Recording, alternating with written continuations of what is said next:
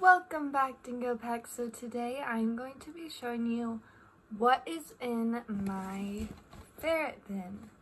So it's been so long since I've last seen you.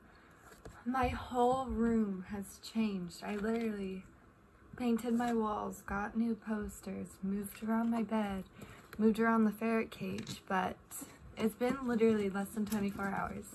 But right now I decided to do this and I'm going to be showing you because I got this bin and it's full of ferret stuff so I'm going to show you what is all in here and I hope you guys like the video. Make sure to comment down below what you guys want to see from me. Yeah. Okay, so the first thing I have are these two blue tubes. So I like just got these for Christmas and Tuck and Brooklyn love these. So I definitely recommend to have some tubes for your ferrets because most ferrets will love them. Second thing in here are is just random little hammocks because it's good to like change out hammocks every so often. So I got a bunch of random little blankets, hammocks, whatever. I'm gonna show you all.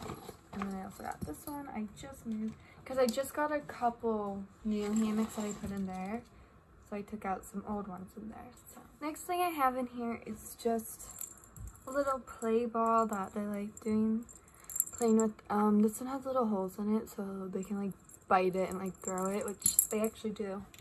And we also have this one. I have two of these, but the other one's somewhere. Um, yeah, it's just a little ball I'm doing. And something like this, it's like a little rice ball, like this. But, so yeah, it's really cute. Next is another little hammock tube thing. I don't really hang this up because it's like bungee, so it won't really hold their weight, but I just have this on the floor sometimes and they like it, so it's really good. The next thing I have in here are some ferret treats. They don't have these too often because it's not the best brand, but the number one ingredient is chicken but yeah, so they have this every so often, but it's always good to have any sort of ferret treats in your bin so you can reward them if you need to or anything. I just recommend having the number one ingredient like chicken or something.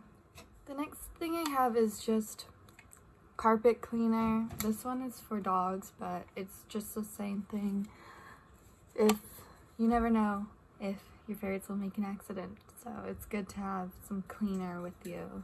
Just make sure make sure it's not like badly chemicaled or anything.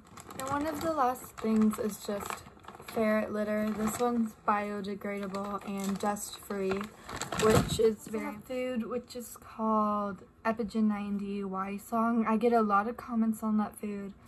My ferrets are fine. They eat that food and it's fine. So. And then I also have an extra water or food bowl.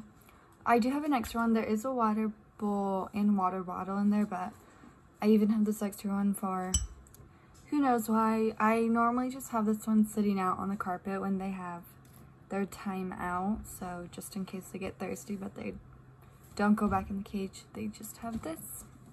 So that is all what is in my ferret bin right now. Um, let me know in the comments down below what you have in your ferret bin if you have one or if you're gonna get one.